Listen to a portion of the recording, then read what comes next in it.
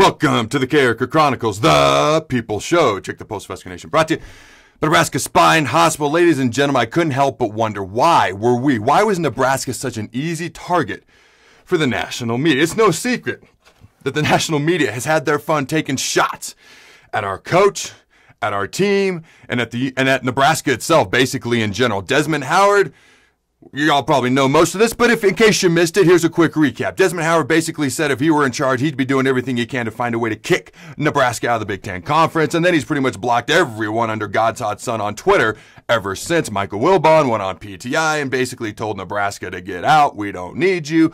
All right, Pat Forde went on the Tony Kornheiser show. Basically, Pat and Tony both kind of mock Scott Frost, but Pat outright called Scott Frost a moron, and there's more. There's no need to rehash all of it. You get the picture in case you missed any of it. So there's three reasons that I believe we were such an easy target for the national media. All right, first, and we've been in the Big Ten for 10 years. That's a decade. All right, it's a decent amount of time, right? But we're still the new kids on the block. Now, you got to keep in mind, the Big Ten Conference originally started in 1896. Just as an example, our good buddies Iowa joined the Big Ten Conference in 1899. Now, Michigan State, they're kind of a newbie by Big Ten standards. They joined in 1949. And I know Rutgers and Maryland, they joined after, after us, but I'm talking about us specifically. But outside of Nebraska, Rutgers, and Maryland. The newest newbie in the Big Ten is Penn State, who joined in 1990. That's 30 years. All right, so here's my point. We're kind of the new kids on the block. In my opinion, I think we're still seen as outsiders, at least to a degree. Now, just as an example, Right, we've never represented the Big Ten in the Rose Bowl, whether it be as a Big Ten team or a Big Ten champion. That's not a shot at, at Nebraska football in any way, shape, or form. To me, I think it just scopes how people view us.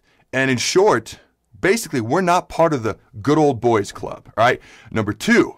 All right. Now, when we, the second reason, now, when we said we wanted to play, we were basically told that we needed to know our place and we needed to be quiet and we were arrogant. We're not who we once were. We're never going to be again, yada, yada, yada, so on and so forth. You get the point. All right. Now, when Ohio State said the same thing that they wanted to play, all right, now all of a sudden the narrative became became Ohio State leads charge to bring back college football in the Big Ten, or something to that effect. You get my point. Now, what's the difference?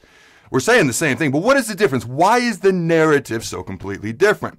Well, let's be honest, we've not had the recent success that Ohio State has had. Now, nobody in the Big Ten Conference has had the recent success that Ohio State has had. They've done very, very well. Ladies and gentlemen, it's about wins and losses, all right?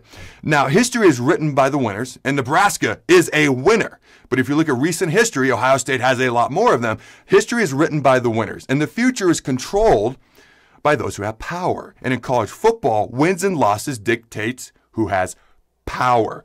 Okay, translation. If and when we start winning again, the narrative will completely change. Number three, the third reason. Now, I believe we're an easy target. That's what this show's about. All right, we're, we're an easy target, which leads to clickbait. It leads to views and it leads to lots of clicks. Now, because of number one and number two, we're not part of the good old boys club and we haven't had the recent success that we would like to have had.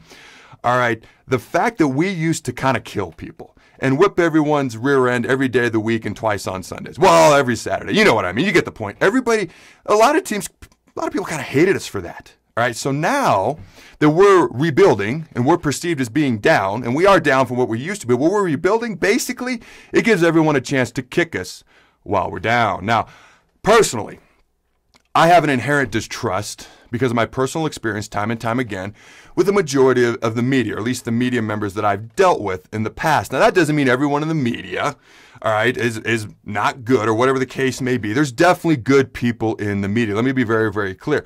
But I have a distrust for a good portion of the folks in the media just based on my personal experience. Okay, let me be very clear. There's good folks in the media. All right, if that offends a member of the media, I might add, then don't be like some of the people I've met. Don't get offended and don't be like them. All right. Now, here's what it, here's what it's about. Ladies and gentlemen, it's about clicks, it's about views, it's not about reality. The reality is right now we're an easy target, okay? And kicking us while we're down means clicks and it means views. For me, I say enjoy it while you can. I don't know how long it'll take, but those days are numbered. Go big red and always remember to throw the bird. Thanks again to our sponsor, Nebraska Spine Hospital. Ladies and gentlemen, when it's your spine, you do not want to mess around and experience matters. That's why you can trust the experts at Nebraska Spine Hospital, the region's only spine specific hospital. They are the best at what they do.